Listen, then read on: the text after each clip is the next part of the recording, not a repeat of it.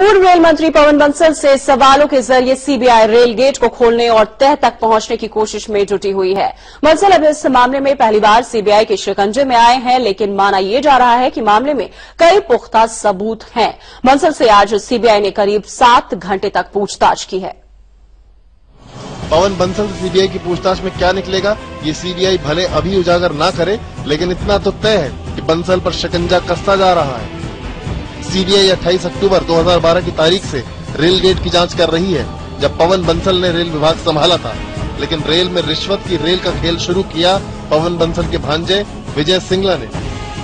BJP का कहना है कि सीबीआई को पहले ही पवन बंसल से पूछताछ करनी चाहिए थी। मामा भांजा का खेल रेल मंत्रालय में चल रहा था लंबे समय से। और हमें अभी भी देखना है कि सीबीआई कितनी ईमानदारी से इसमें जाँच करती है और जाँच आगे बढ़ती है तो उस पर समय समय पर अपनी प्रतिक्रिया आपको ज़रूर देंगे। रेलवे में ट्रांसफ़र, पोस्टिंग, नियुक्ति और प्रमोशन का खेल शुरू कर बंसल के भांजे विजय सिंगला ने करोड़ों के वारे न्यारे करने शुरू कर दिए। लेकिन 90 लाख रुपए की घूस लेते, रंगे हाथों पकड़े जाने के बाद भांजे विजय सिंगला के अलावा रिश्वत देने वाले महेश कुमार को भी सीबीआई ने पकड़ लिया। सीबीआई ने कोर्ट को बताया है कि रेलवे में प्रमोशन के लिए 10 करोड़ रुपए में सौदा तय हुआ था। महेश कुमार को रेलवे बोर्ड के सदस्य स्टाफ से सदस्य इलेक्ट्रिकल बनाया जाना था, जिसमें पहली किस्त के तौर पर दो करोड़ रुपए दिए गए। इन दो करोड़ में तकरीबन नब्बे लाख रुपए सीबीआई के हाथ लग गए।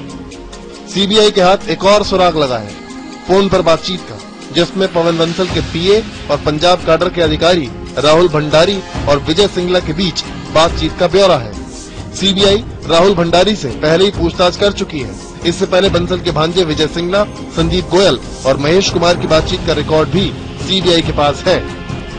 माना जा रहा है कि अब सीबीआई के हाथ कई अहम सुराग लग चुके हैं और इन सुरागों के ज़रिए सीबीआई पवन बंसल से पूछताछ कर रेलवे रिश्वत कांड से पर्दा उठा सकती है। समय के लिए दिल्ली से अनामिका रत्ना के साथ जितेंद्र बहादुर सिंह।